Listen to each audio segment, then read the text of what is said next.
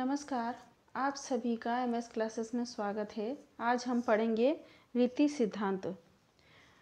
अब रीति सिद्धांत का प्रारंभ कब से स्वीकार किया गया है, यह एक विवादास्पद प्रश्न है। आचार्य भरत के नाट्यशास्त्र में व्रति का उल्लेख प्रदेशाभिधन्य से संबंधित मिलता है। रीति का संबंध प्रदेशाभिधन्य से है। राजशेखर भी उनके अनुसार व्रति तथा रीति में आधेय आधार का संबंध है। उन्होंने काव्यविद वध रूपक के अंतर्गत संकेत भी किया है। वे कहते हैं, तत्र वेश विन्यास क्रम प्रवृत्ति विलास विन्यास क्रम व्रति, वचन विन्यास क्रम रीति। आचार्य भरत ने भी रसोचित शब्द व्यवहार का नाम व्रति रखा है। भारती, सात्विकी कौशिकी और आरभटी नामक व्रतियाँ नाट्य को उपकृत करती हैं। आचार्य भरत प्रदेश के क्रम में पात्रों की भाषा एवं वैशिष्ट को निर्दिष्ट करते हैं। वे कहते हैं, मागधी प्राच्य अवंतीजा दक्षिणात्या। ऐसा प्रतीत होता है कि प्रदेशाभिधान्य के क्रम में विविध नाटक तथा कथन शैलियों का विकास हो चुका था और प्रथम शती से लेकर छठी शती तक काव्य शैली के रूप में इन विशिष्टताओं को और भी अधिक स्पष्ट करने की चेष्टा की गई। बाण भट्ट का श्लोक इस तथ्य को पुष्ट करता है। श्लेष प्राय मुविष्टेषु प्रतिष्ठेवर्थ मातृकम उपमा दक्षिणात्येषु गौड़ध्यक्ष डर, आडंबर। आचार्य वामन भी सर्वप्रथम इसी प्रदेशा भी धन्यवाद को आधार बनाकर मार्ग रीति का विवेचन करते हैं। काश्चित मार्ग विभागार्थ मुक्ता प्राज्ञम लंक्रिया। हिंदी में रीति सिद्धांत के प्रथम प्रस्तोता आचार्य केशव दास जी कहे जा सकते हैं। उन्होंने रस की दृष्टि से भरत की चार व्रतियों का निरूपण किया है। वस्तुतः केशव की कवि कुल कल्पतरु में रीति को, काव्य पुरुष का स्वभाव और व्रति को उसकी व्रति व्यवहार बतलाया है। इसे सिद्ध हो जाता है कि रीति और व्रति में सूक्ष्म भेद मानते थे। संभवतः उन्होंने कुंतक के कवि स्वभाव का आधार लिया है। इसके अलावा व्रत्यानुप्रास में उन्होंने उपनागरिका इत्यादि व्रतियों का विवेचन भी किया है। कुलपति मिश्र ने रस रहस्य में रीति के मूलाधार गुणों और रीति की पर्याय वृत्तियों का वर्णन काव्य प्रकाश के आधार पर किया है। देव ने गुणों और रीतियों का अद्वैत संबंध स्थापित किया है तथा चार रीतियों के नाम लेकर उन गुणों को रीति कहा है। उन्होंने दंडी तथा वामन के दस गुणों के साथ अनुप्रास और यमक को भी गुणों का स्थान देकर उनकी संख्या बारह कर दी है। दास का रीति विवेचन अधिक महत्वपूर्ण है, क्योंकि इन्होंने स्थायी भावों की वासना के समान गुणों की वासना भी मानव चित्त वृत्ति में मानी है और गुणों का वर्गीकरण भी किया है। इन्होंने रसों का भी रीतिकालीन और गुणों का स्थायी और अपरिहार्य संबंध माना है। आधुनिक हिंदी आलोचना क्षेत्र में कतिपय प्राचीन परंपरावादी विचारकों के दर्शन होते हैं। कन्हैया लाल पौधार ने मम्मट की उपनागरिका कोमल और परुषा का वर्णन मम्मट का अनुवाद मात्र है। मिश्र बंधुओं ने साहित्य परिजात में रीतियों का विवेचन किया है, किंतु उनमें मौलिकता की दृष्टि होती है। और हिंदी की प्रकृति का भी इसमें पूरा ध्यान रखा गया है। अर्जुन दास केडिया ने भी भारती भूषण में रीतियों का विवेचन किया है। इस दिशा में रामदहिन मिश्र का काव्य दर्पण अत्यंत महत्वपूर्ण ग्रंथ है। इसमें गुण, रीति, वृत्ति इन तीनों का सूक्ष्म अध्ययन किया गया है। जिसमें काव्य प्रकाश के अलावा अन्य संस्कृत ग्रंथों का भी आधार लिया गया है।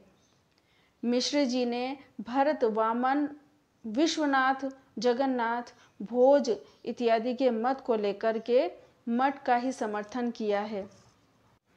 आधुनिक युग में नई शैली की आलोचना पर पाश्चात्य आलोचना शैली का विशेष प्रभाव परिलक्षित होता है। आचार्य महावीर प्रसाद द्विवेदी ने वर्ड्सवर्थ के समान बोलचाल की साधारण शैली का समर्थन किया।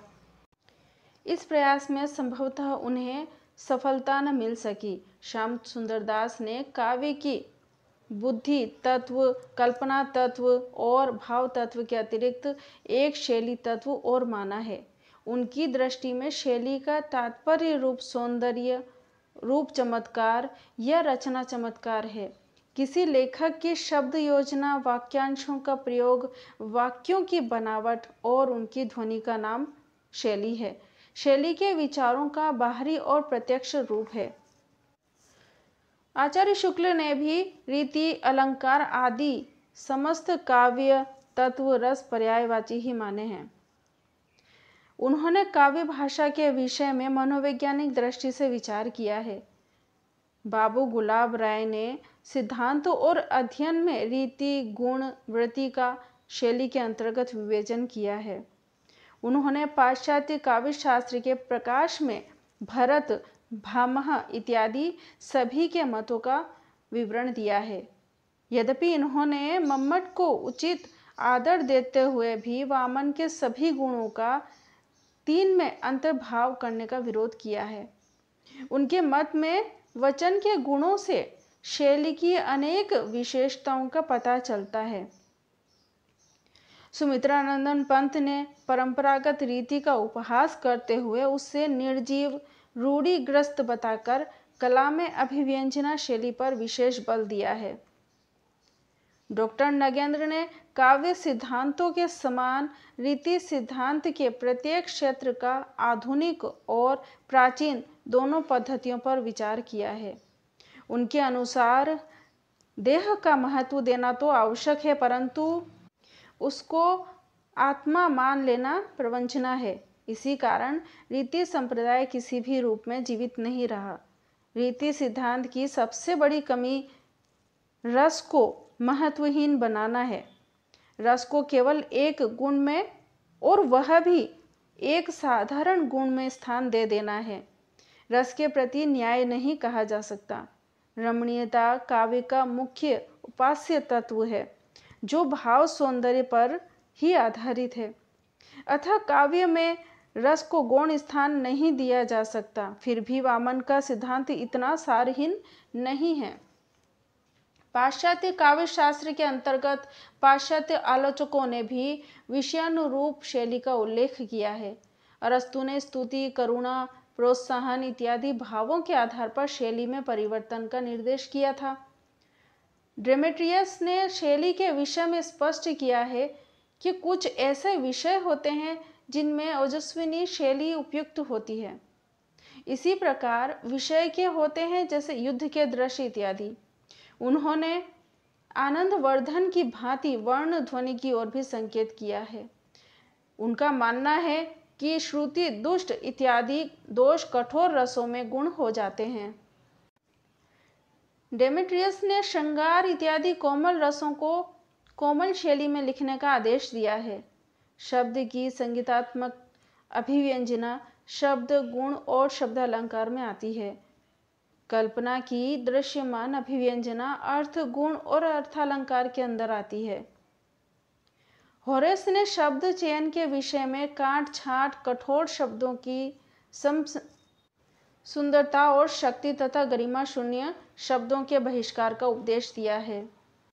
किंतु प्रचलित शब्दों का बहिष्कार न करने का निर्देश भी उन्होंने किया है।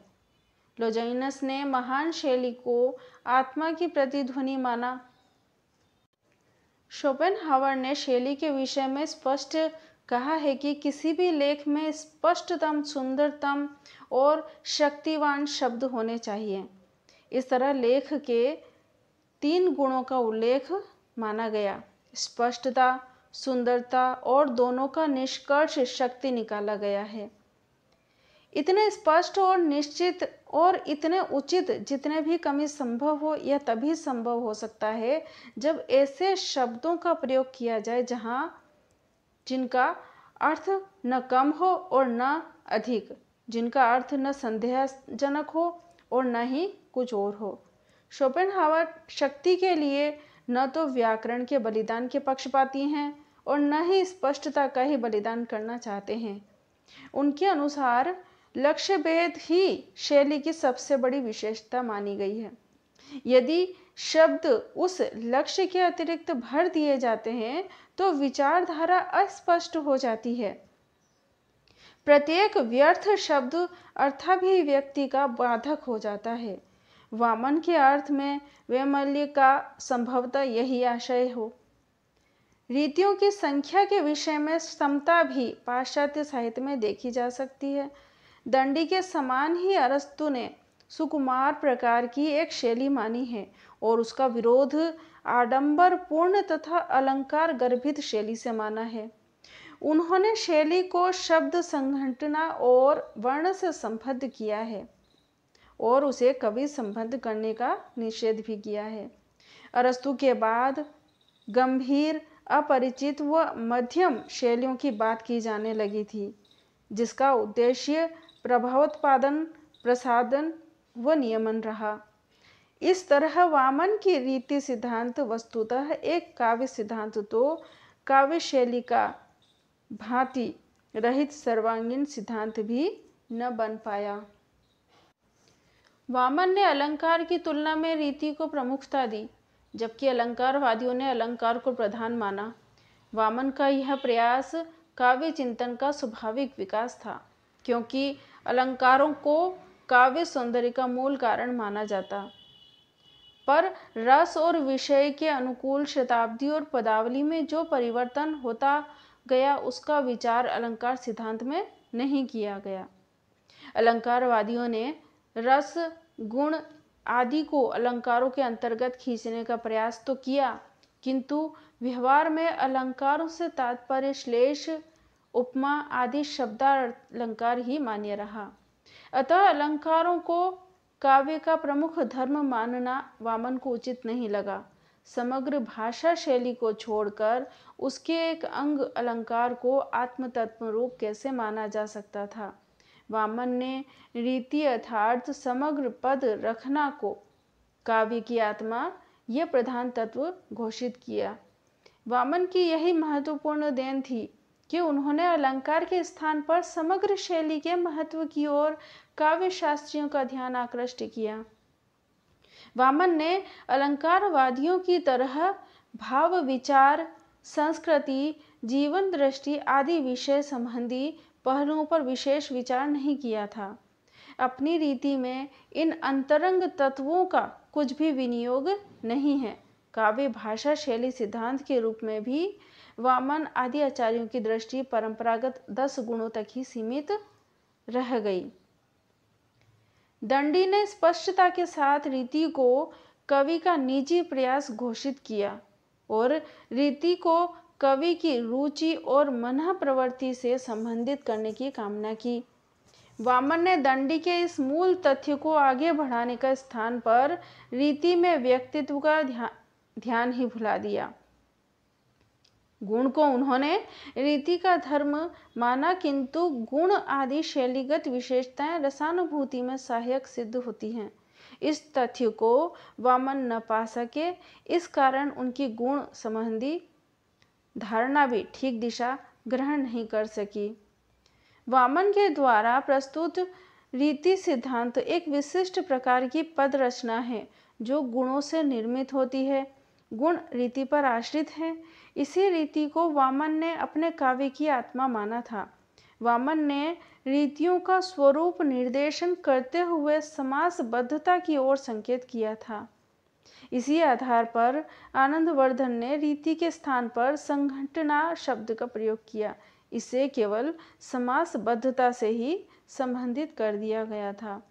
इसी संघटना शब्द के आधार पर ममट ने रीति का नवीन लक्षण प्रस्तुत किया। ऐसी पद संघटना रीति कहलाती है, जो गुण अर्थात गुण व्यंजक वर्णों पर आश्रित रहकर रस का उत्कर्ष करती है। वामन ने रीति के गुणों को आश्रित किया था और रीति को काव्य की आत्मा माना था। रीति का मूल अधिष्ठान गुण है। वामन ने दस शब्द गुणों और दस अर्थ गुणों का विभाजन वर्गीकरण कर काव्य के मूल तत्वों को आत्मसात कर दिया था। विशेष रूप से अर्थ गुणों को इतना अधिक विस्तार कर दिया कि उसमें राग तत्व, बुद्धि तत्व, कल्पना और शैली, ये चारों तत्व समाविष्ट हो जाते हैं। इसी प्रकार शैलीगत विशेषताओं का भी गुणों में ठीक रूप से आंकलन किया गया। शैली अथवा रीति की प्रतिष्ठा स्वतः ही महत्वपूर्ण सिद्धांत है।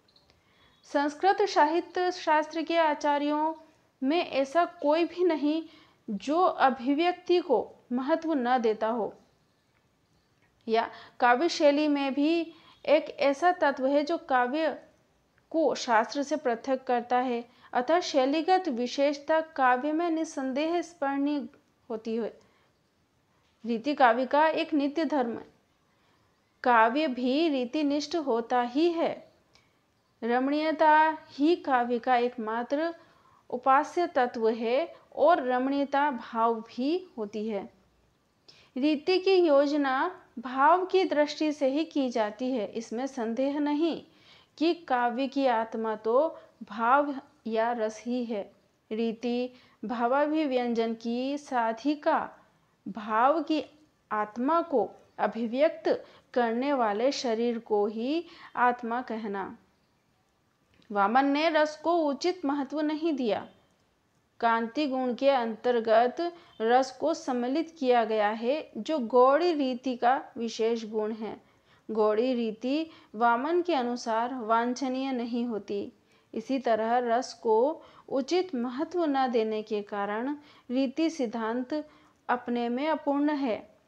इस विषय में आनंद वर्धन का यह कथन ध्यान देने योग्य है कि रीतियों का प्रवर्तन काव्यात्मा के अनुसंधान की एक चेष्टा थी।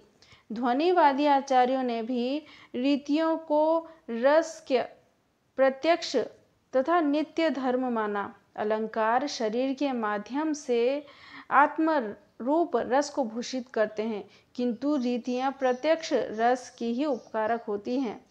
जब तक कोमल भाव को कोमल शब्दों में अभिव्यक्त नहीं किया जाएगा, तब तक श्रृंगारादि रस निष्पन्न हो सकते हैं। इसी प्रकार कठोर रस के लिए कठोर शब्दों व अर्थ दोनों की आवश्यकता होती है। अर्थ में भी कठोरता और कोमलता को रीतियों के क्षेत्र में सन्निविष्ट कर वामन ने एक प्रकार से उन्हें रस का अनिवार्य नित्य धर्म घोषित किया।